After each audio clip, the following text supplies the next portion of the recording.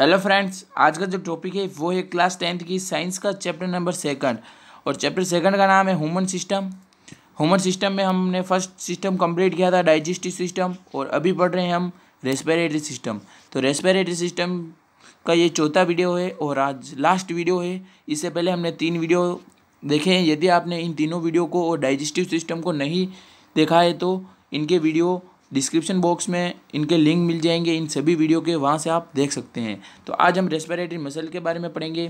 तो importance of respiratory system आप importance जानते हो रेस्पिरेटरी सिस्टम का पिछले तीन वीडियो से बताता रहा हूँ कि हमारी जो बॉडी में सेल होती है, उनको एनर्जी की ज़रूरत होती है। तो ये एनर्जी हमें या तो फ़ूड से मिलती है और ऑक्सीजन से मिलती है।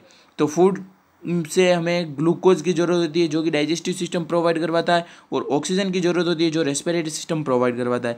और ये दोनों जब रिएक्ट रिएक्ट करते हैं, यानी रिएक्शन करते हैं तो एनर्जी को रिलीज़ करते हैं, और कार्बन डाइऑक्साइड को रिलीज़ करते हैं। तो एनर्जी तो हम, हमारी जो सेल होती है, वो यूटिलाइज़ कर लेती है बट कार्बन डाइऑक्साइड को यूटिलाइज़ नहीं करती है हमारी सेल तो ये हमारी बॉडी के लिए वेस्ट मटेरियल होता है। तो इसको रेस्पिरेटरी सिस्टम के द्वारा बाहर निकाल दिया जाता है ठीक है? तो रेस्पिरेटरी सिस्टम का क्या इंपॉर्टेंस है? कि ओ टू को हमारी बॉडी में लाना और सी ओ टू को हमारी बॉडी से बाहर निकालना। तो रेस्पिरेटरी सिस्टम का डायग्राम है। रेस्पिरेटरी ह्यूमन रेस्पिरेटरी सिस्टम तीन फेस में कंप्लीट होता है। तीन पार्ट है, इसके major upper respiratory lower respiratory और रेस्पिरेटरी मसल्स ठीक है? तो अपर रेस्पिरेटरी में क्या आता है? नोज़ माउथ फेरिंग्स लेरिंग्स इसके बारे में हमने पढ़ लिया है। लोअर रेस्पिरेटरी में trachea bronchi bronchioles lungs alveoli ये भी हमने पढ़ लिया है। तो अब हम पढ़ते हैं रेस्पिरेटरी मसल जो कि ऐसी मसल जो कि रेस्पिरे रेस्पिरेशन में मदद करती है, ठीक है? रेस्पिरेटरी मसल वो मसल होती है जो कि रेस्पिरेशन में मदद करती है। वो कौन सी हो गई? जैसे कि डाइफ्राम तो आज हम डाइफ्राम के बारे में थोड़ा देखेंगे। Breathing is facilitated by special muscle जो ब्रीथिंग होती है, यानी कि जो हम सांस लेते हैं, वो स्पेशल मसल के द्वारा ली जाती है। इसमें स्पेशल मसल का भी रोल होता है। One of the muscle in the diaphragm which is made up skeletal muscle और एक मसल जो है, यानी कि डाइफ्राम जो मसल है डाइफ्राम एक मसल है जो कि अब मैंने अभी आपको बताई थी, ये थे, ये है डाइफ्राम जो कि एक मसल है। तो ये डायफ्राम जो मसल है, वो किससे बनी हुई होती है?